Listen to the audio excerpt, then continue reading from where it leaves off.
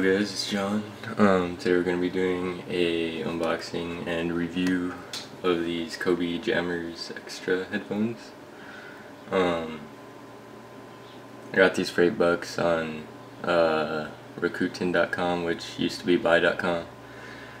So, um, I got these just because they came with um, the Blue Snowball kit and I wanted the black blue snowball so I don't know I just ended up getting these just to see how good they were and I needed um, over ear headphones. I'm not sure if these are gonna be over ear they look kinda small but we'll see. So now we're gonna unbox it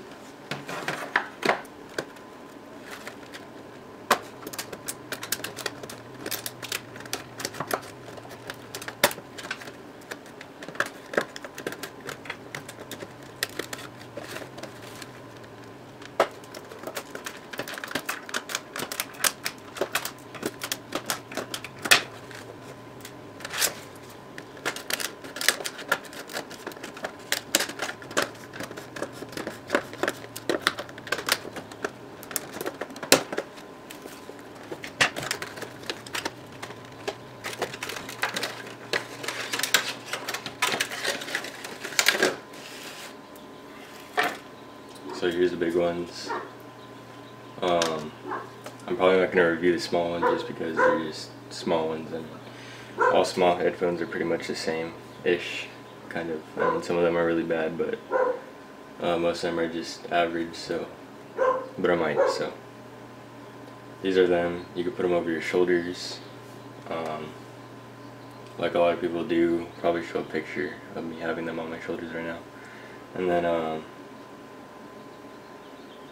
I'm gonna try them on and then get on with the review. Alright, hello, I'm back.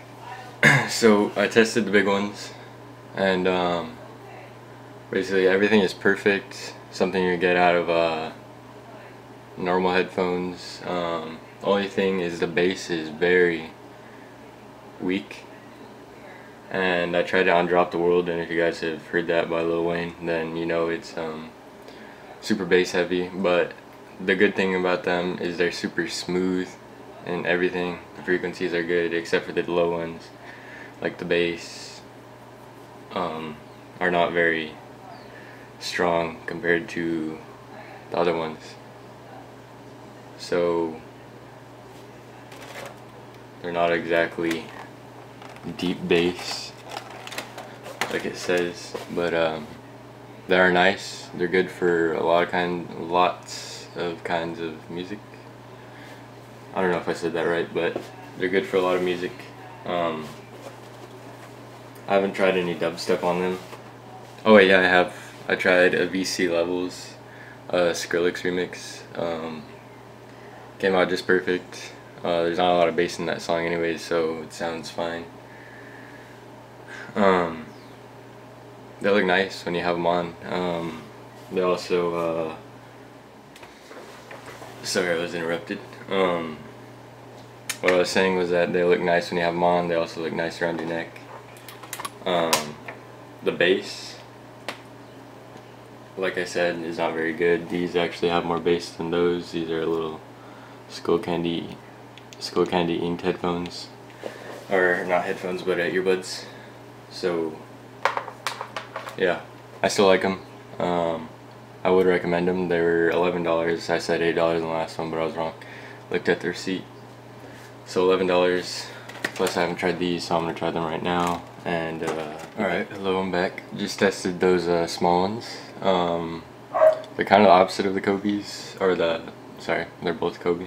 The big ones because um, they capture the lower frequencies better. They have better bass. Um, and they don't really get the high frequencies as good. But the bass is still not as good as my uh, Skullcandy ones that I showed you earlier. Um, though they're they're still nice. I'm back. Um, my SLR ran out of memory, my DSLR, so um, I was saying that they're definitely worth the money. Um, you get what you pay for. So yeah, you should get them, pick some up if you want. Um, they're nice. I mean, there's nothing wrong with them. If you really are that concerned about bass, then I don't know. Um, but yeah, these are on ear, not over the ear. I thought it was over ear, so um, that's that. Small ones are okay.